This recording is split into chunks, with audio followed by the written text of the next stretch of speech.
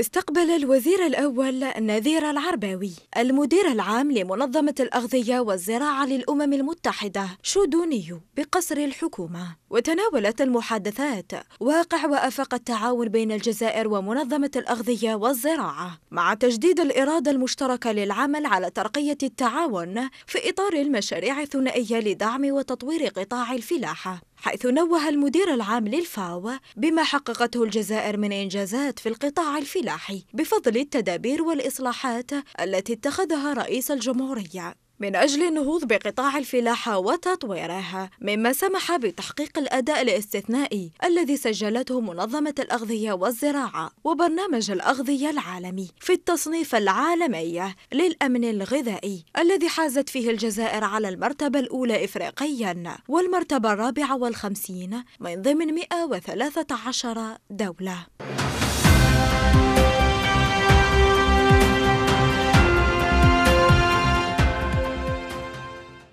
وقع مجمع سوناتراك عقدا مع الشركة الإيطالية تكنيمونت لإنجاز مركب بتروكيميائي بولاية سكيكدا متخصص في إنتاج الكيل البنزين الخطي وهي المادة الخام المستعملة في إنتاج مواد التنظيف والمنظفات الصناعية. حيث سيبلغ الإنتاج السنوي المرتقب لهذا المجمع البتروكيميائي مئة ألف طن من هذه المادة. وهو ما سيغطي احتياجات السوق الوطنية من هذا المنتوج الذي يتم استيراده حالياً. على أن يوجه الفائض المحتمل نحو التصدير وتبلغ مدة إنجاز المشروع 44 شهرا بتكلفة إجمالية تعادل 1.5 مليار دولار أمريكي منها 32%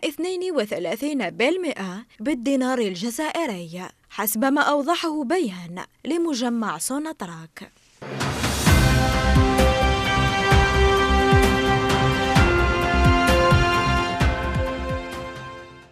استلمت وزارة الصحة عيادتين متنقلتين موجهتين لتقديم شتى أنواع العلاجات والتشخيصات من قبل الشركة الإيطالية للطاقة إيني.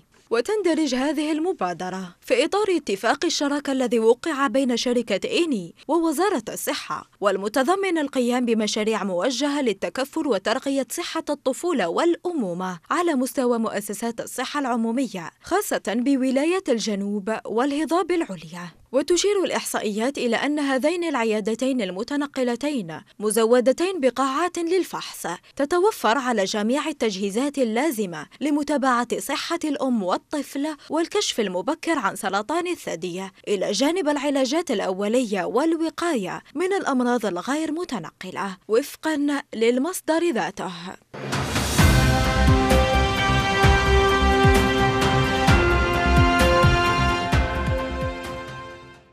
أشاد المدير العام للجمارك اللواء عبد الحفيظ بخوش بإسهامات المرأة الجمركية في حماية الاقتصاد الوطني بكل فعالية واحترافية من كل أشكال الغش والتهريب وكذا الجرائم العابرة للحدود. وخلال احتفالية نظمتها المديرية العامة للجمارك بمقرها بمناسبة إحياء اليوم العالمي للمرأة بحضور المدير العام للأمن الوطني علي بدوي وإطارات المديرية. أكد اللواء بخوش على دور المرأة الجمركية وإسهاماتها بكل فعالية واحترافية في حماية الاقتصاد على كافة الأصعدة من خلال مساهماتها جنبا إلى جنب مع زميلها الجمركي لمكافحة كل أشكال الغش والتهريب.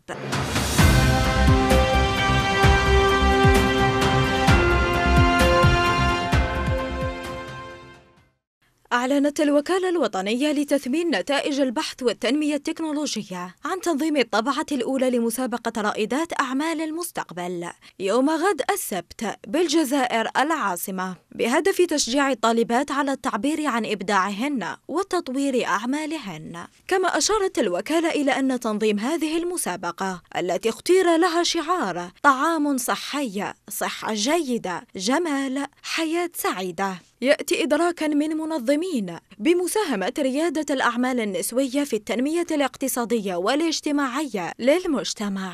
وأوضحت الوكالة في بيان لها أنها تنظم هذا الحدث مع المدرسة الوطنية العليا لعلوم البحر وتهيئة الساحل بالتعاون مع كل من المدرسة الوطنية العليا للفلاحة مدرسة الدراسات التجارية العليا المدرسة الوطنية العليا للطب البيطري وكذا المدرسة العليا لعلوم الغذاء والصناعات الغذائية.